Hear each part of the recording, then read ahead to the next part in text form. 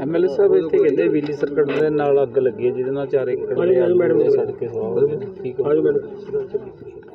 ਦੇਖੋ ਕੋਈ ਕੁਦਰਤ ਦੀ ਕਰੋਪੀ ਹੋ ਰਹੀ ਹੈ। ਰਾਤ ਬਹੁਤ ਵੱਡਾ ਨੁਕਸਾਨ ਹੋਇਆ ਹੈ। ਕਈ ਪਿੰਡਾਂ ਦੇ ਵਿੱਚ ਅੱਗ ਲੱਗੀ ਕਈ ਜਿੰਦਾ ਪਸ਼ੂ ਸੜ ਗਏ ਕਈ ਬੰਦੇ ਵੀ ਝੁਲਸ ਗਏ। ਤੇ ਉਸ ਵਾਲੇ ਦੁੱਖ ਚੋਂ ਸੰਕਟ ਚੋਂ ਅਸੀਂ ਉੱਭਰੇ ਨਹੀਂ ਤੇ ਤੇ ਅੱਜ ਸਵੇਰੇ ਇਹ ਘਟਨਾ ਵਾਪਰ ਗਈ। ਜੀ।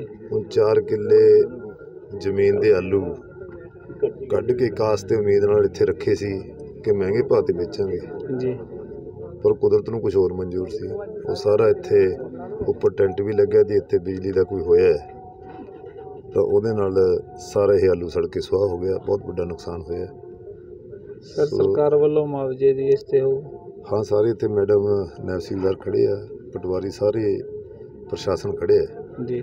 ਇਹ ਸਾਰਾ ਇਸ ਦਾ ਅਸੈਸਮੈਂਟ ਕਰਕੇ ਜੋ ਵੀ ਨੁਕਸਾਨ ਹੋਇਆ ਇਹ ਬਲਜੀਤ ਸਿੰਘ ਮੰਡਵੀ ਦਾ ਖੇਤ ਹੈ ਉਹਨਾਂ ਦੀ ਫਸਲ ਹੈ ਤੇ ਜੋ ਵੀ ਇਹਦਾ ਮੁਆਵਜ਼ਾ ਅਸੀਂ ਪ੍ਰੋਪਰ ਉਹ ਇਹਨਾਂ ਨੂੰ ਸਰਕਾਰ ਵੱਲੋਂ ਦਵਾਵਾਂਗੇ।